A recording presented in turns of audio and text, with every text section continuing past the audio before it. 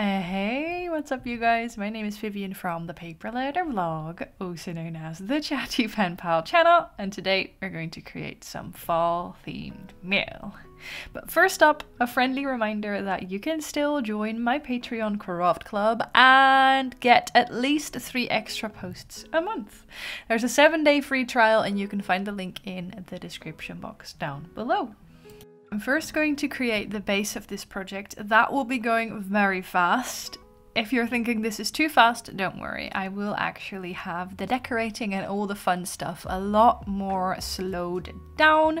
If you want to follow along, I will also post the measurements to this project, which you quickly see in screen here in the description box down below, where you can also find the supplies I've used, etc, etc. So basically what I'm doing is I'm using this Sturdy Craft paper or craft cardstock, I guess, uh, to turn into a tag booklet. So it will be a flip book looking like a tag. You could also very easily make this yourself out of any paper you like, or you could just simply connect two large tags uh, by sticking some washi tape in the middle. I already had some basic ideas for the layout in mind, and the rest of it I kind of made up as I went. But this was such an easy project such I was in such a flow, I cre uh, created and finished this in one night, which is very unlike me. I haven't done that in forever. Usually I will spend weeks working on a project. Uh, so I really hope you will enjoy it. I keep trying to say two words at the same time, like trying to say like and enjoy it at the same time, which is impossible, but I hope you will enjoy it as much as I enjoyed crafting it.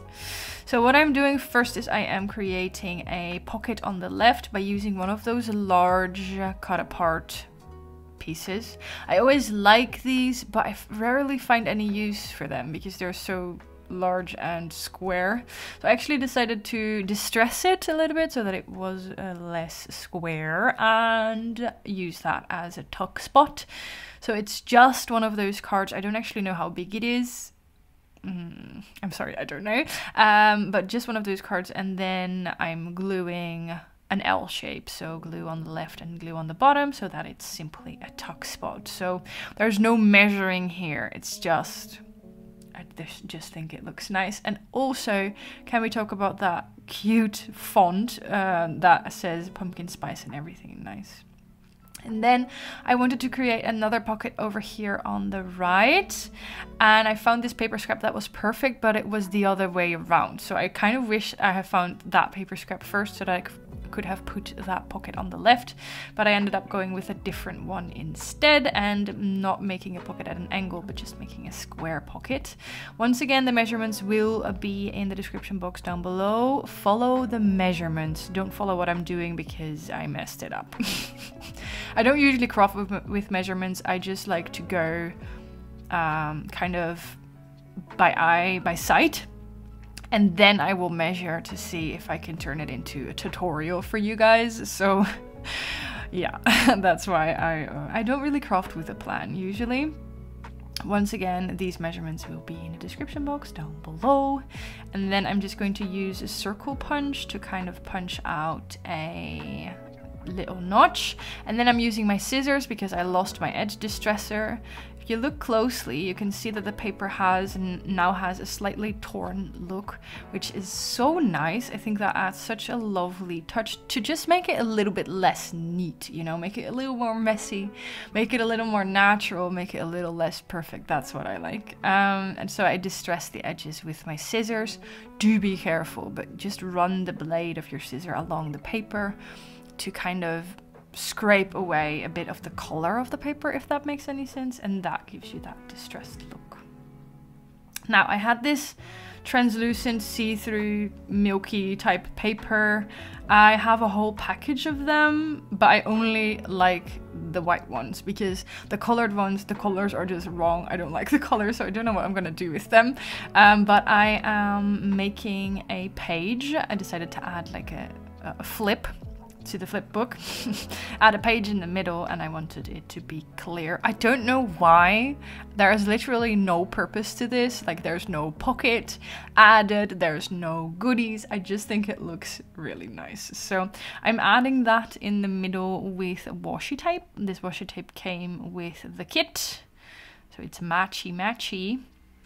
And I'm just trying to fit it perfectly in the middle and then I'm going to because as you can see it's way too big I'm then going to close the flip book and then cut the excess paper away but when I then open the flip book it's too short but that's okay. I would rather have it be like too short when you open the flipbook than have that middle page sticking out when it's closed. You live and you learn. I'm trying to use my um, guillotine trimmer here because I wanted like a sharp cut. Uh, this was definitely not the easiest way to do it. I should have just used scissors. But yeah, when you have all these tools, as you can see now, it's too short, but that's fine. It still looks fine. When you have all these tools, I guess you're gonna use them. Um, uh, speaking about tools, the I get this question a lot. The tool that I use for punching that hole is called a Crop-A-Dile. I really don't know why they call it a crocodile. So crop as in cropped image, not crocodile, but Crop-A-Dile. I don't know why they call it that. It's just weird. But anywho, made a pocket on the left, made a pocket on the right, made a middle page, and then decorating in the goodies.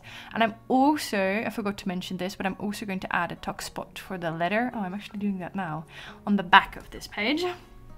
Um, I actually finished this project last week or two weeks ago. I do not, but very short ago, last week, um, because this is a Patreon swap. We are doing a fall themed swap. Let me take a sip of tea.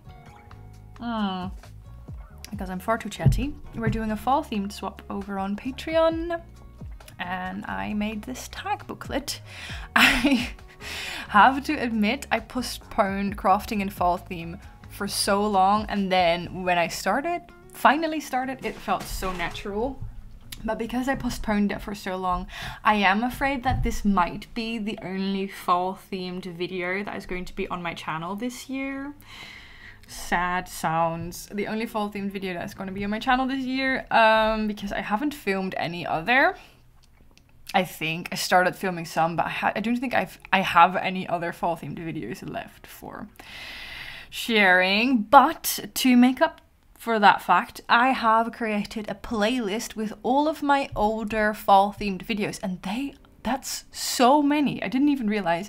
I went on a trip down memory lane, scrolling through all of my videos, going back seven years to my first ever fall themed video.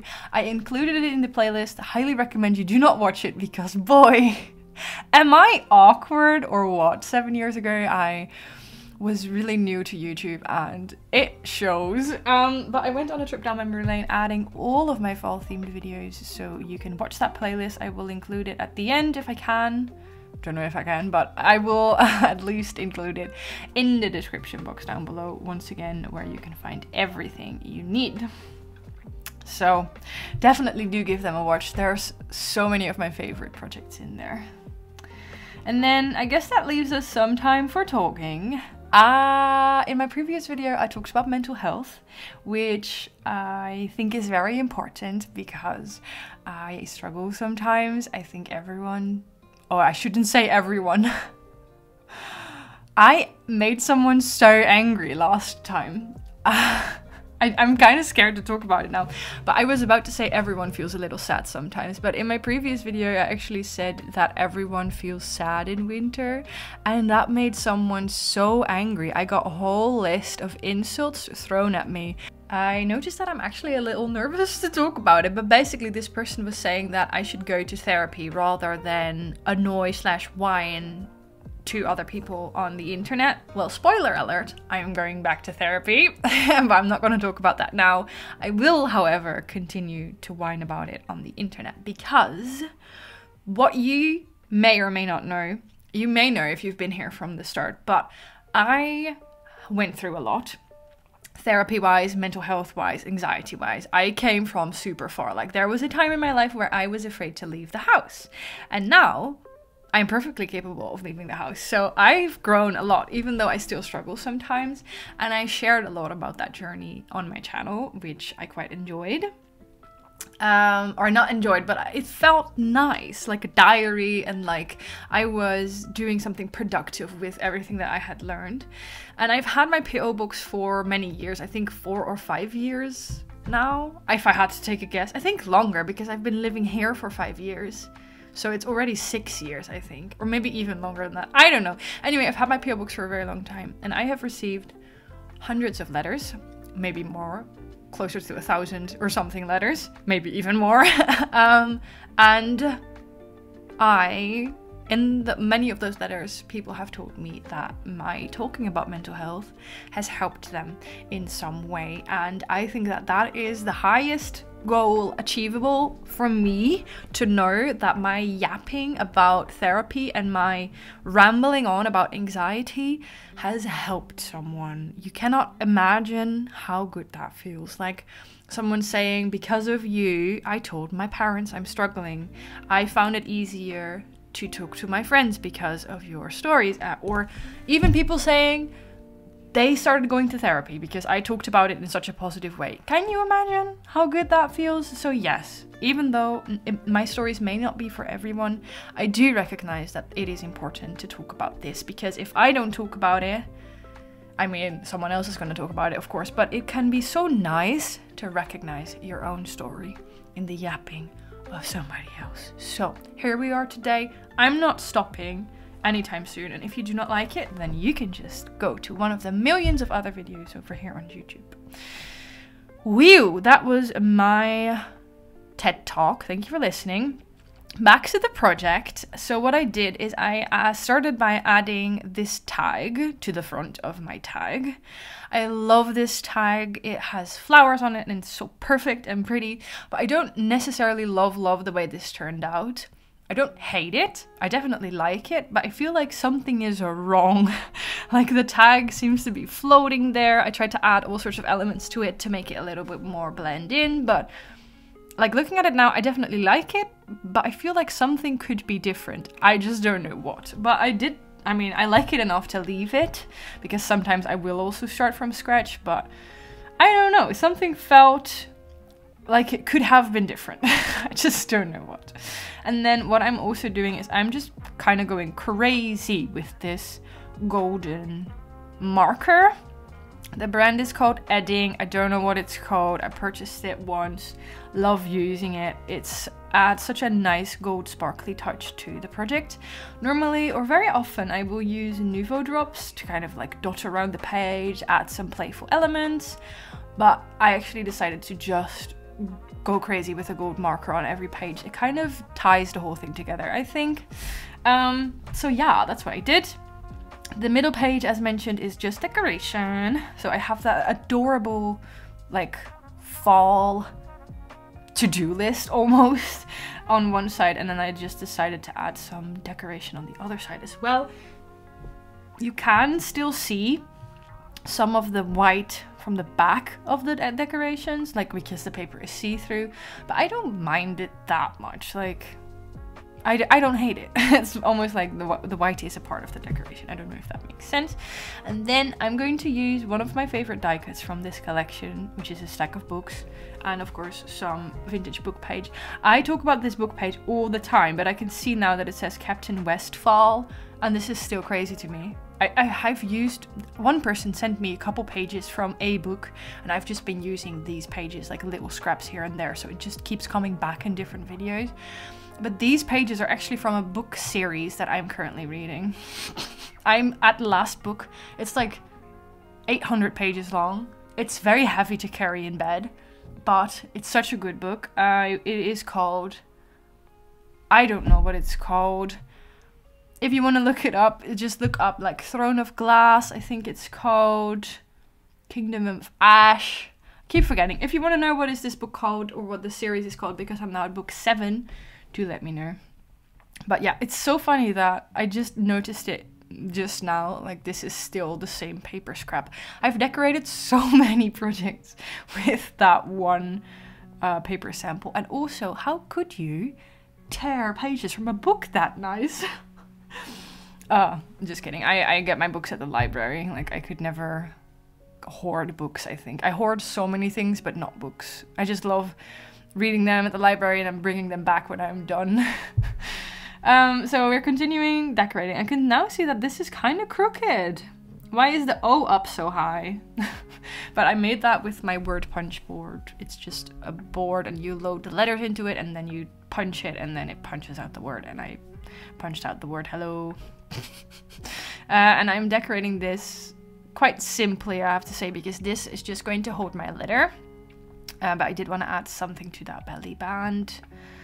I ended up putting two sheets of letter paper in there because I could. I don't actually think my letter is going to be that long because as I said before, this is for a craft club swap. And while I love writing long letters, it is kind of difficult to write a long letter in a swap because you have like no starting point. There's no letter you can reply to. You can like introduce yourself and you can talk a little bit about fall or something, but that's not like a four page letter.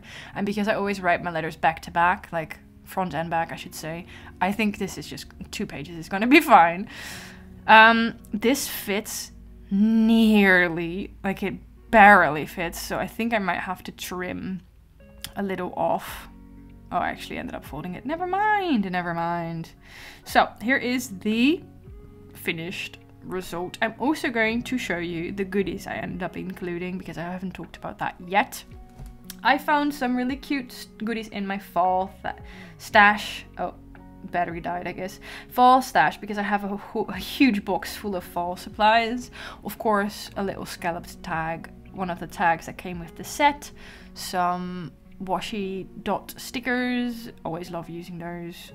Uh, another cut apart from the same collection, and this gorgeous fall leaf sheet from Pipsticks. I used to be a member of Pipsticks, but I don't need that many sticker sheets.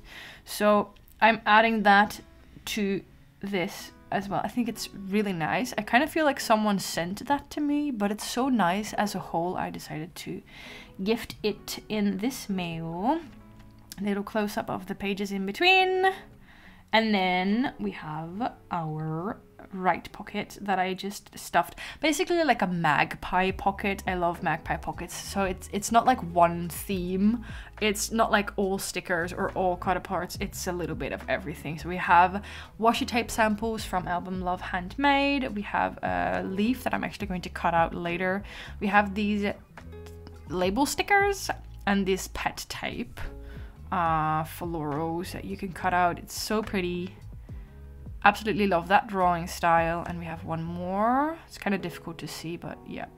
And then we have mushroom images and mushroom stamps. Here's a closer look at the pet tape.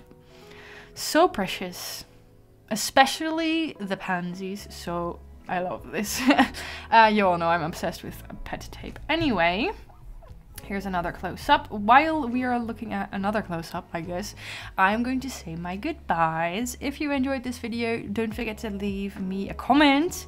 Um, my first video back got 600 views. The one after that got 500. The one, the last one I uploaded got 400. I'm kind of kind of hoping that we are going back up now because I don't want to go to 300 views. I work quite hard for my videos, so it is always a little bit sad when you can see your views going down. So I would absolutely love it if you guys would leave me a little comment saying how you feel about this video and how you feel about fall themed crafting. I don't care, just leave me a little message.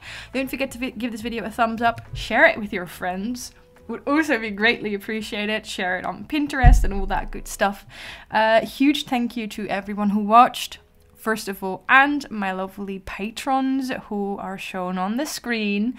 There's 46 of them right now, and they are the reason I get to keep continue uploading these videos and spend as much time on my hobby as I can. Whew, Chatty Vivian out. Wishing you all a lovely day. Bye.